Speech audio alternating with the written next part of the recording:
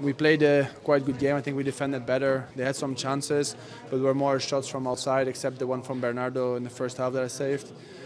Then I think uh, second half we started well. We couldn't score, and then suddenly we defended one action a bit bad. Uh, they scored from it.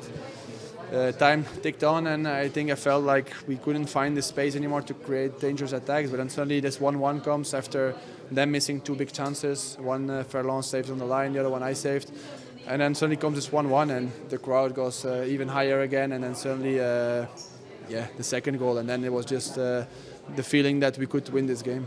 Definitely, I think uh, our part has been an amazing part. You know, hopefully we can uh, cap it off with a victory in the final. It's it's amazing to to first eliminate Paris, then uh, then Chelsea, now City, all of the best teams in the world with us, I think, and now Liverpool also. They are playing really amazingly this season, so it will be a really hard game the only good thing for us is that we, we are not playing anymore for anything. We we uh, we can rest really well for that game, uh, whereas they are playing for the Premier League. So uh, for them it will be a bit harder, but we need to keep on training well and, and do our best and hopefully uh, yeah win it.